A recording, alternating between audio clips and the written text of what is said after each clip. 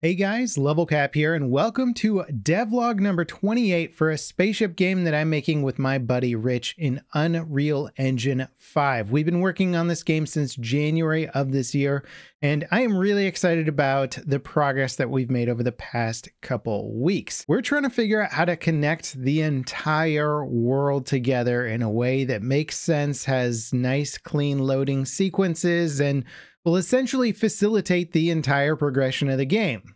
Simple task, right? Well, I think we finally cracked the workflow on that along with some big movement updates that are in the pipeline, getting our Steam development pipeline set up, and tons of other stuff. Let's get into it with our space transit. Last devlog, I showed off this sequence here, flying over a trigger box, which essentially faded the screen out and loaded a new level. And what this sequence proved here is that just loading levels the basic way for our design is not gonna work. We needed a different system.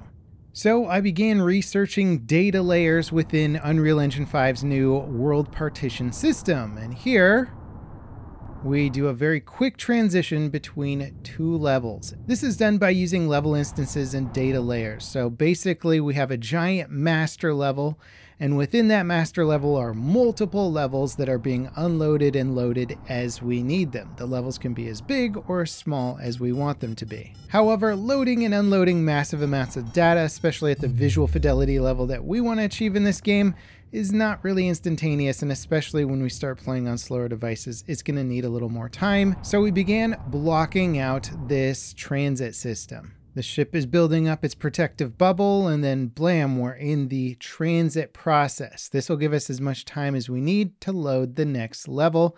And while we don't have the outro transition or really the intro transition design quite yet, this concept should carry us through to the final vision. So the way it's going to work in our game world is we could have this massive system here. There's a little white dwarf over there. Here's a black hole that it's orbiting around, and here's a more traditional star over here.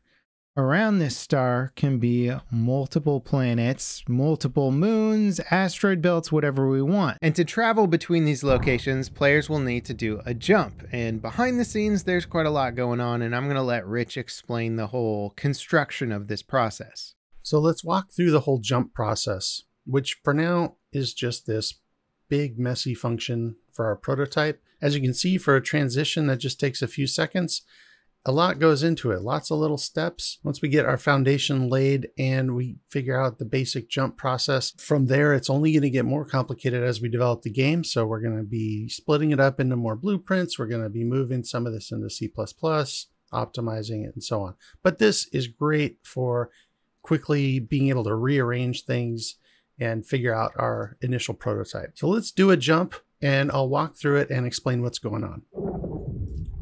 All right. So first thing I'll do is I'll use a cheat to set up our jump point.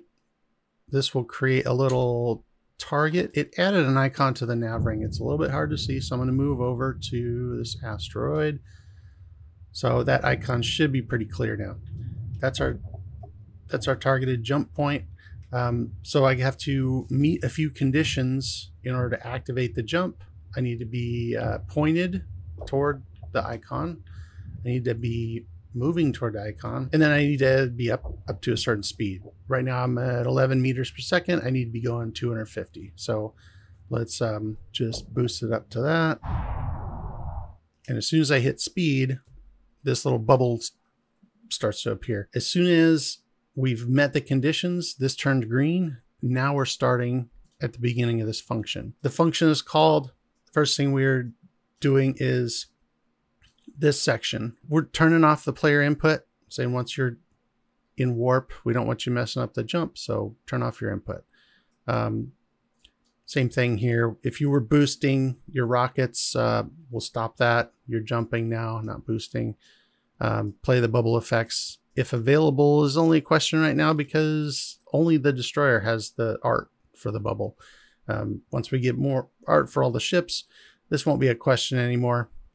It'll just be uh, a given. Now we're delaying four seconds because we want to get four seconds into the bubble animation. And right at that point is when we want to go into our little tunnel.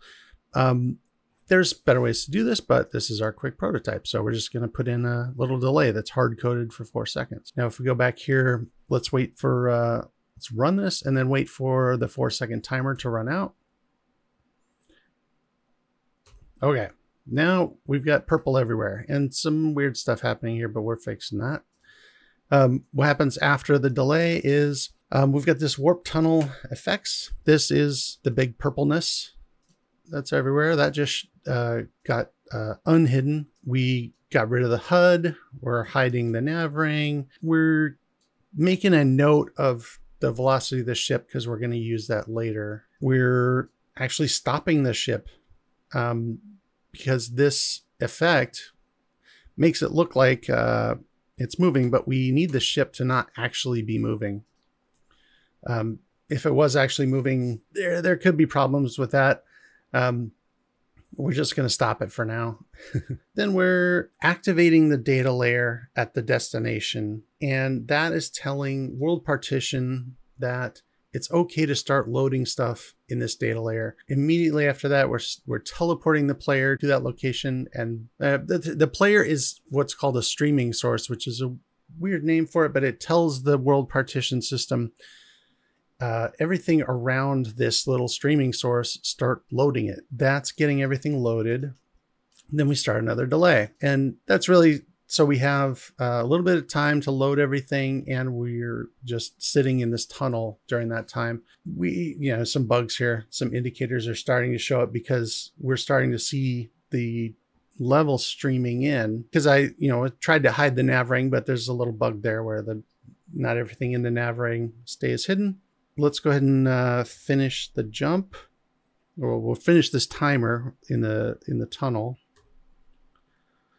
and then we're done. We see we've got our little um, little bit of velocity here. So as soon as this delay is over, that's when boom, the purple goes away and you see the new uh, location that you're at. Now we unload the location that we're no longer at. We get rid of the purple tunnel. We give the player control back. We reset the targeting system so the jump point is not selected anymore. They got to reselect one bring the HUD and the nav ring back. And then finally, give it that little push, give the ship that little bit of movement that we were talking about, made a note of the direction, and now we're making it uh, 50, 50 meters per second instead of 250. You're not going to accidentally hit an asteroid uh, right after you do a jump. So, yeah, that's this beast of a function that we're starting out with and working with for a prototype. And this will only continue to get bigger and better.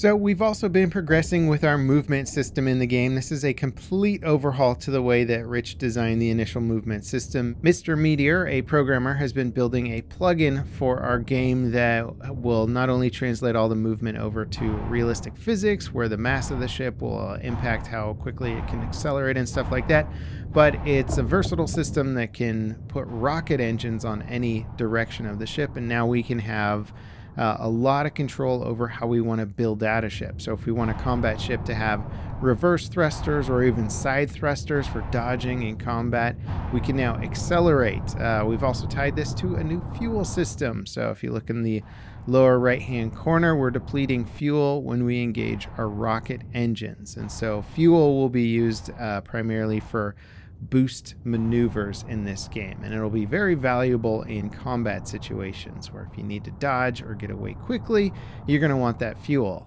And lastly, there's some behind the scenes stuff where we're working on the Steam page and branding for the game, but uh, I'm not quite ready to show that off just yet. So we've been making a lot of progress, and honestly, I just can't wait to refine some of the systems that we just got started building, like the transit system. I know we can push that so much further. Uh, if you guys want to follow this project even closer, check out our Discord. It's linked in the video description. There we post kind of questions about how to build something. We ping the community, we post updates. Uh, it's a good time. Check it out for sure. And if you want to learn more about the game, check out the rest of the devlog here, along with a video describing the overall concept for it. As always, thank you so much for watching, and I'll see you next time. This is Level Cap signing off.